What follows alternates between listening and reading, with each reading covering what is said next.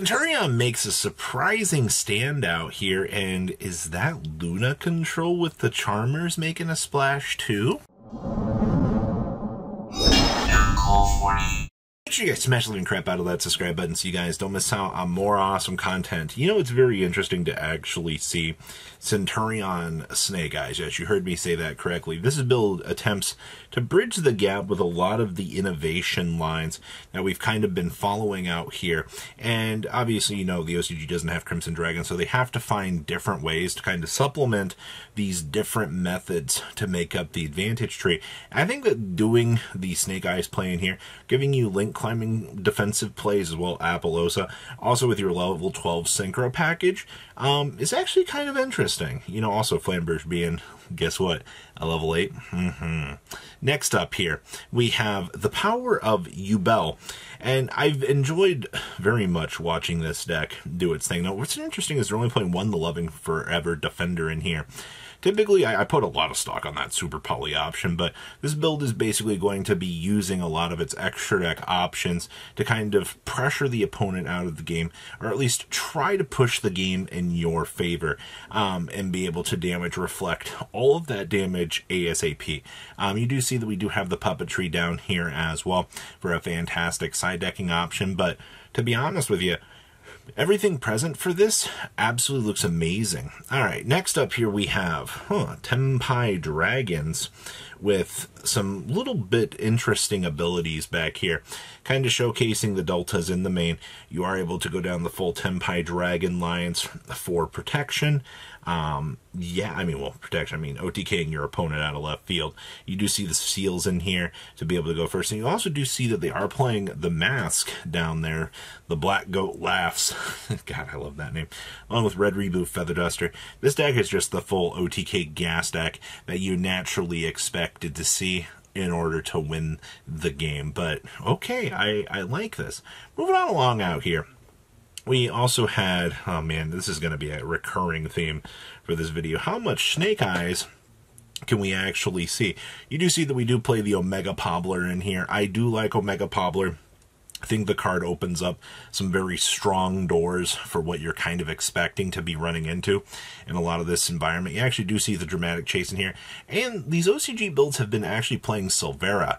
Um, I didn't really think that a lot of people would try out Silvera, but to be honest with you, I think the results that the card tries to give to the meta feels actually pretty strong. So good stuff here. Next up here, ah, more Tenpai Dragons. You know what's very scary about this list? The fact that it's playing Kaiser Coliseum.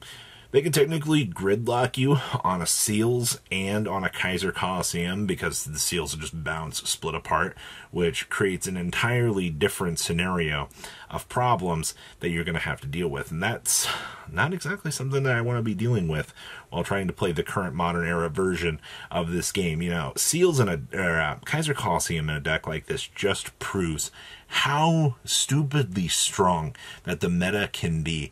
And that's not necessarily a good thing, all right? Like, uh, Kaiser Coliseum is an issue. All right, we have, oh, this is Fire King Snake Eyes.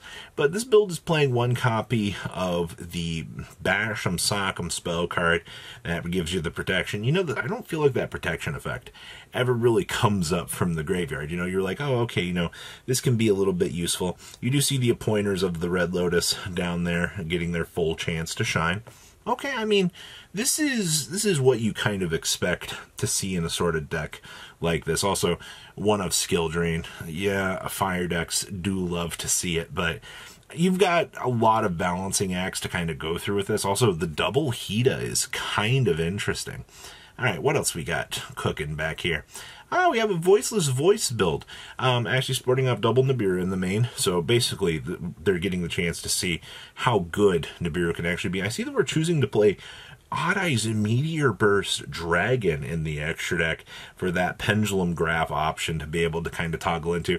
We did see Odd Eyes Winged Dragon being a pretty strong option in the very early days, personally, for this, but that's not what you're actually seeing here and I actually think uh, having a little bit of a dial back on your option trees or trying to diversify your options can actually kind of help things out. So interesting to see what we're encountering with that. Next up here, Huh, more pure Snake Eyes. I actually think pure Snake Eyes has kind of taken to the lead here out of a lot of these results. You do see the Monster Reborn, the craziness that that card actually gives as an extension option. You do see that we are playing the Heat Soul in there to get those free draw cards. Don't underestimate the ability to get the full toggle options, start going up these crazy draw lines, and then have your opponent go, hmm, you know, I love getting out resourced and out grinded. Yeah, that's that's kind of the whole big thing with this. You also do see double summon limit down there in the side deck as well for the the nopes.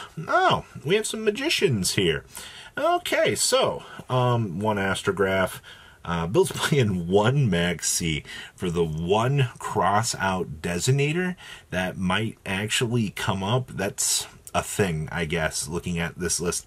Um, you also do see the Gravekeeper's inscriptions down here for the high roll to be able to see, um, which is uh, kind of understandable. I mean, when fire format is such a pain in the butt and you need to see those cards to put that pressure down on your opponent, perfectly understandable. And you do see the double talents in the side. So this is pretty strong for a list. I, I actually quite like this a lot. And then we have, ooh, more fire. You know, imagine you go to a locals, you sit down to play, you're ready to play Yu-Gi-Oh! And then they do full fire combo and you're like, okay, I can break this board. And at the very end, they end on the Ambler Whale. And you're like, all right, I just got to break this. And then they activate Kaiser Coliseum on you.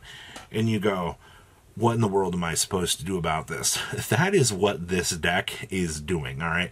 You think all of that is something that you really want to deal with? No, not at all. But I, I, just use that scenario to best accurately describe this list because that's the experience that it feels like. Just the the despair of the 10 minute turn is crazy to deal with. Next up is some rescue ace. Okay, now this is a little bit more, I guess, tolerable. Um, but in terms of your innovation lines, yeah, they only have one emergency, which sucks that they actually cannot access that and go down full lines. But you do see the bonfires in here you do see that we do have double Pobbler, so you know you can do the special summon, pull out original Sinful Spoils to go down, grab the Hydrant, and then start going up. I also do like the fact that even with all of the hits that this deck has, they're still only choosing to play two Hydrants, which is kind of wild to me. You might consider like, hey, you know, maybe I do need the third, but this list makes zero effort for that, which I think is good. Next up is more Voiceless Voice. This one's sporting off your Nadir package in here, so you kind of get the chance to see, you know, well, how, how does this deck interact with Nadir? Well, you end up dropping down Herald as per usual. Get your search options going. It's a lot of the same stuff that you're kind of already used to seeing. Uh, you do see the super polys actually being in the side. The fact that this build chose to put those into the side deck, I find a little bit interesting, but you've got a lot of options to kind of do your thing. You do see Odd Eyes Pendulum Graph with the Meteor Burst in here. So once again, you know, making use of the full power of that creature. Um, ooh, we have more fire in here. Man, oh man, I so much fire today. Um, you are playing the one Amelination for the board wipe. You are actually side decking Heavy Storm. You don't, I don't see a lot of Heavy Storm in these side decks. You would think that more of these duelists would make a, an effort to be playing Heavy Storm, but no, it just feels like they don't actually need it, or you know, they have enough oomph in their combo builds to be able to kind of do the things they need to do.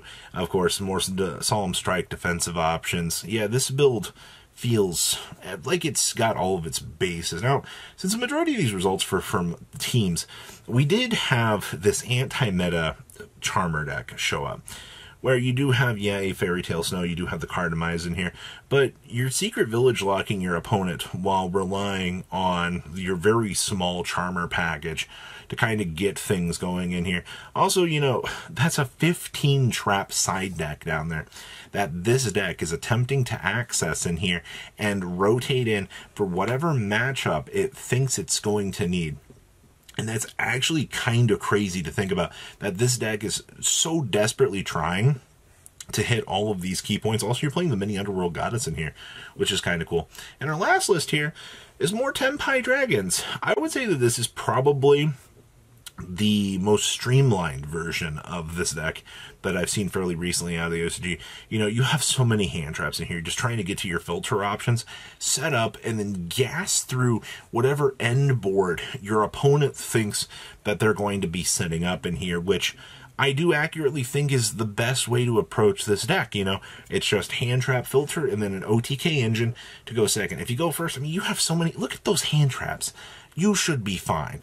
All right. You don't exactly have to go crazy when you have that much of a field. So those are our innovations today. Please leave a comment down below. Tell me what you guys think. I'll see your beautiful faces back here in a day, guys. Patrons, thank you. Ah!